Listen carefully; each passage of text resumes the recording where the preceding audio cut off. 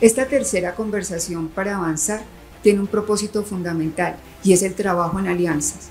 Este no es un ejercicio que podamos desarrollar como una entidad de gobierno de manera aislada y sola. Este es un propósito de país.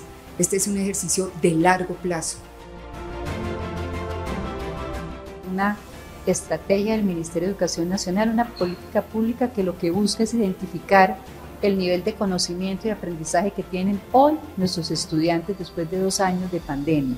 Nosotros, ¿qué hacemos desde el Ministerio? ¿Qué hacemos desde el IPES? Es cada vez ir ajustando esta herramienta. Se ha ido actualizando todo el tiempo, se han creado diferentes funcionalidades que permitan acercarlos más pues, a todos los que están haciendo uso.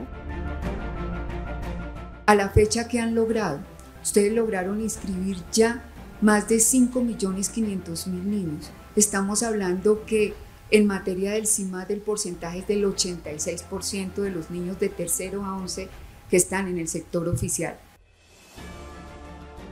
Hacer hincapié en la importancia de que todos los actores, todas las partes interesadas del sector educativo puedan hacer su parte. Hay un elemento importante que Evaluar para Avanzar toma, que es este largo recorrido que tiene el ICFES y el sistema educativo colombiano desde hace 20 años. A la fecha, cerca de 2 millones de niños hoy ya tienen aplicado al menos uno de los cuadernillos. Esto no tiene antecedente en materia de ejercicio de política pública.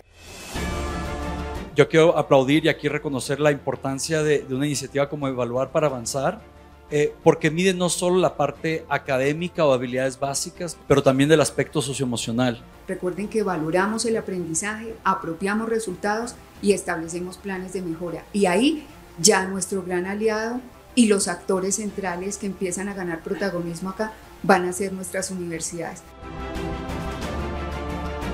El poder llevar a cabo esta política pública ha sido la construcción de ese nuevo pacto social. De las 96 secretarías de educación, 95 firmaron un pacto y muchas de ellas con el desafío total de garantizar 90 y 100% de los niños inscritos y en el proceso.